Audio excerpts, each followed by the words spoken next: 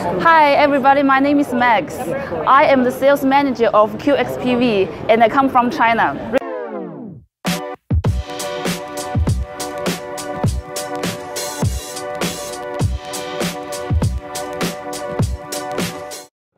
QXPV is Qixin Solar.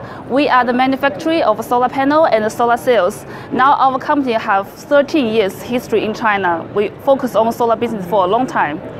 Right, and let's talk about your products. Okay. What kind of products are you offering?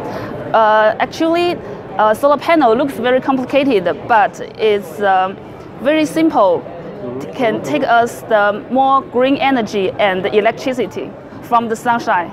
And what sort of products this is intended? Is it for commercial, residential? And actually, we do many di- uh, different kinds of business, like the residential, commercial, and we also bidding some big project from government in domestic in China. Now we are looking for if we can uh, find some very good partner to do the residential and the commercial project in Philippines to Right. bring the green energy here. Right, right. Yeah.